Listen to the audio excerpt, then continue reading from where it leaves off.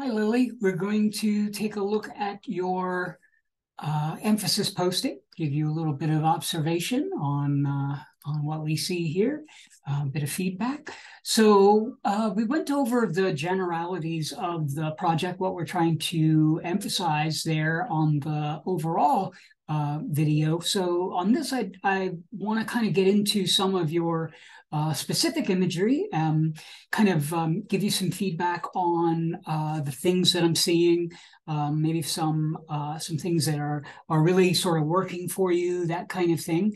Um, things maybe you haven't noticed um, before. So I'm just basically looking at the overall sort of layout here, how you've put it together. They're a little out of order, um, but it seems like you have everything there in terms of of what we're looking for. the idea is that we are are starting from the, the, the wide and moving all the way in. And so we wanted them ordered that way so that we understood that that was how we were doing it. And that was the point of, of ordering them. But we'll just kind of go through them.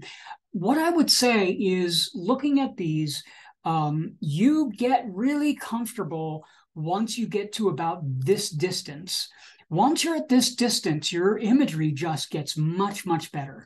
The compositions, the way you're handling shapes, and the way you're sort of organizing things, it seems like suddenly you're like, ah, finally I have you know enough information to do something with um, these seem to be giving you a bit of trouble here um, as in terms of what to do you're starting to get it here because you're starting to get a little closer but you know these way back here it just feels somewhat like ah, you don't know what to do um, because things are so far away or so small. Um, each of us has these areas where we are, um, you know, not as uh, uh, as experienced with, and so we have to practice those things as we um, as we go forward because it's the things we aren't experienced with that will always you know get in our way. They're always going to come up.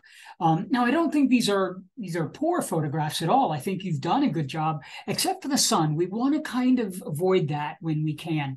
Uh, having the sun in your photograph really just you know overwhelms everything um, as you can see. I mean it just is taking over in terms of the contrast not to mention uh, long-term exposure like this over and over you can damage the the, the camera uh, sensor as well. But um, you know when you have it in there it just kind of you almost want to put your hand over it like that. And it interferes a little bit with what's going on down here um, because I think you've got something really interesting happening down here in terms of organizing the shapes and uh, things like that.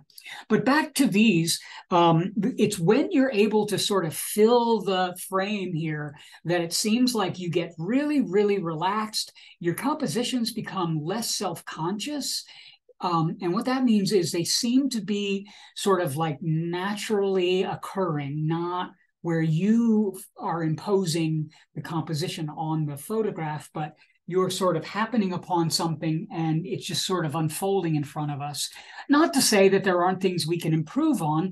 Um, for instance, um, uh, we'll come back over to uh, say this one. Um, and so we have this kind of um, diagonal that's moving up into the corner here. Now you have other things that are really working really well. You have a diagonal going this direction, one that's going this direction. So you have good counterbalance happening. Um, so all of that works really well. However, we want to avoid having these sort of areas where a line or uh, attention is drawn to these corners like that it's because the corner already has a lot of energy. Um, the corner is the edge of the picture frame. It kind of goes up and then jags across. So when it comes to the outer edge of our, our photographs or our artwork, the corners need less attention. Uh, we don't really need to call attention to them because they already have a lot of energy. And when we do call attention to them, they will actually act as like an arrow or pull like the the the attention away from everything else. So uh, the, the the best thing that you can do, rather than having it come up here, which is interfering with your energy, is something more like what you did on this one. So on this one, you can see you don't have that happening over here. You didn't have this line or this line um, going into that corner. And what happens is we can get our eyes down into whoop, whoop, whoop, whoop, whoop.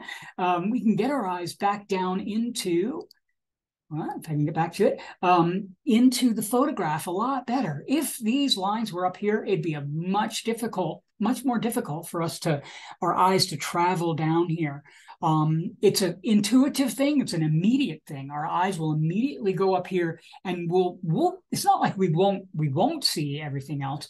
It's just the energy will be sort of something will be off, and the viewer might not even know what it is, and it won't feel as um, as balanced and, and harmonious as it could be.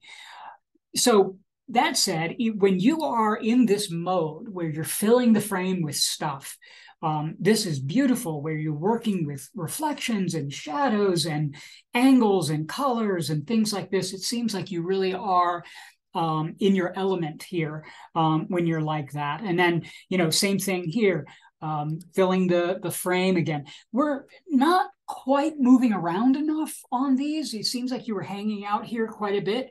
Um, I would have liked to have seen you move around uh, a little bit more, but you you you were getting a lot of good imagery here.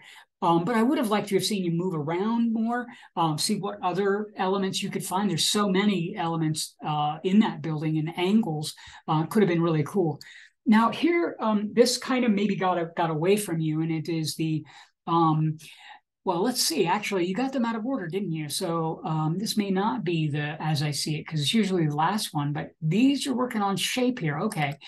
So with shape, uh, yeah, I mean, I can see where you're going with this one. Um, so shape, you know, you are identifying this. You got that really highly structured organization going on there. Same thing with this. Um, they do feel very, very similar um, in terms of their composition. This is a nice sort of element here. It's clear that you were seeing that, um, you know, in the placement of, of what you did with it. I'm not sure we needed this information here. This might have been a, a better, sort of more complete uh, image if the this was it ended right here and a little bit more over here. This might have been the reason. Maybe there was some information over here you didn't want in there. Um, let's find what you're identifying as your, as I see it, because, um, oh, here we are. Um, so as I see it, so we're we're kind of experimenting again here with some shadow, uh, or and I'm sorry, with reflection and it's an interesting kind of uh, kind of feel. Um, you know, I, I, would have liked to have seen a little bit more abstraction. I think we're going for um, some object here.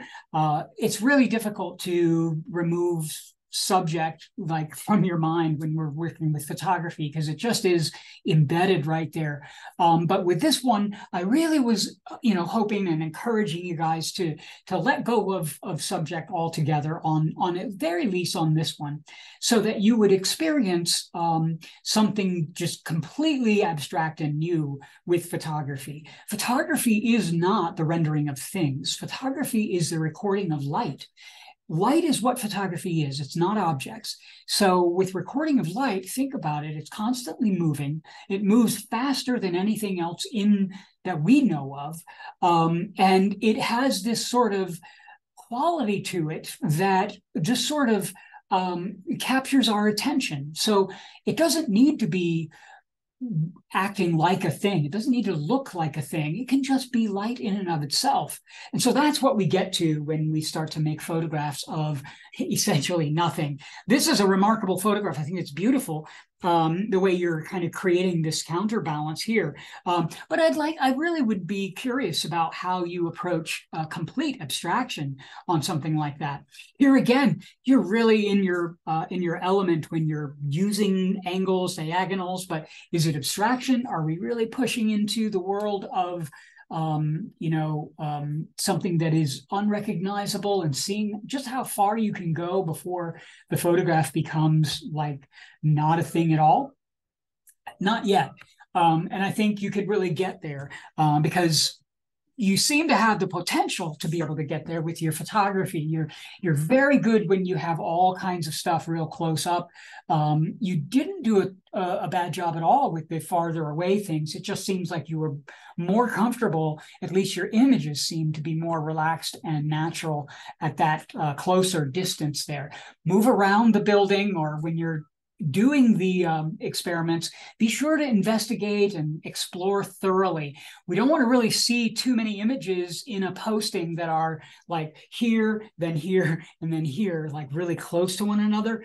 Um, break it up a little bit, unless the experiment calls for that, like to make a series that are that are moving like in a in a line like that. We really want to have you moving around. Seems like you hung out on that corner quite a bit for this uh, exercise. You found some good images, but I'm interested in in what you could have found maybe on the top there or over on the side or inside the atrium, stuff like that. So that's what I have for you. Um, I really look forward to seeing what you um, continue to make, and we'll see you in the studio. All right. Bye now.